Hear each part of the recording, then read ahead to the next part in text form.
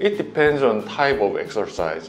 Light exercise such as walking is possible right after the surgery. Jogging or running, which gives breast movement, is possible after one month. Other exercises which moves the breast muscle, such as weightlifting, is possible after three months.